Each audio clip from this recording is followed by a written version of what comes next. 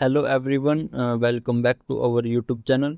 In this video, I will guide you through the process of resolving issues with the Stream mobile app not working. Without further delay, let's dive into the solutions. First solution how to fix this problem is disable and enable your internet connection. To resolve this problem, try toggling your internet connection. If uh, you are using mobile data, then turn it off for 5 to 10 seconds then switch it back on. For Wi-Fi users, uh, turn off Wi-Fi for the same duration and then uh, turn it back on. Alternatively, activate aeroplane mode for 4 to 5 seconds, then uh, deactivate it, and then uh, check if the issue resolved. Second solution to fix this problem is a force close and restart Stream mobile app. For that, uh, just simply go to your device setting, open App Manager or Apps, and uh, then select uh, stream mobile app from the app list.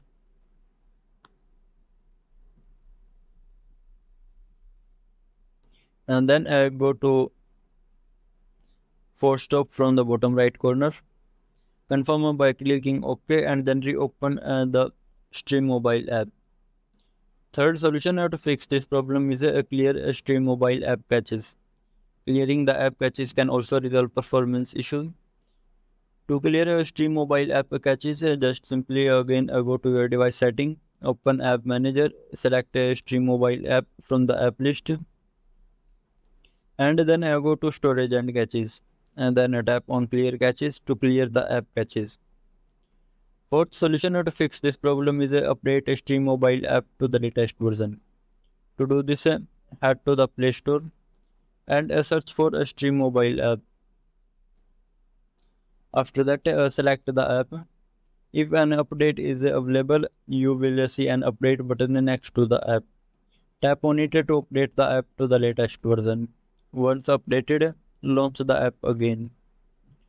Fifth solution how to fix this problem is uninstall and reinstall the stream mobile app. For that just simply uh, come on this uh, play store and search for stream app. After that select the app and uninstall it once uninstalled, reinstall the app by clicking on the install button. If uh, none of the above methods work, uh, then the issue may be Stream mobile app server is down. In such cases, uh, you may need to wait for some time and try again later.